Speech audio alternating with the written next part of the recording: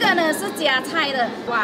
这一次的慈少课程跟以往不一样，因应屠妖节发放，七十位慈少同学及家长承担生活组迎接印度裔慈济照顾户。现在的父母很多都是帮小孩子安排做好一些东西，变成他们小孩子比较呃缺少一个责任感。借这个机会，我们要呃我们要学付出了，就是有一个机会给我们付出了。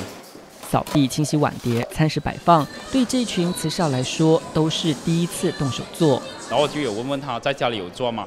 他就说在家里没有做了。然后呢，来到慈济比较喜欢做，就是可能大家一起做的很热闹啊。然后我就鼓励他说啊，可能回去啊，以后你回去也可以帮帮父母亲做这样子。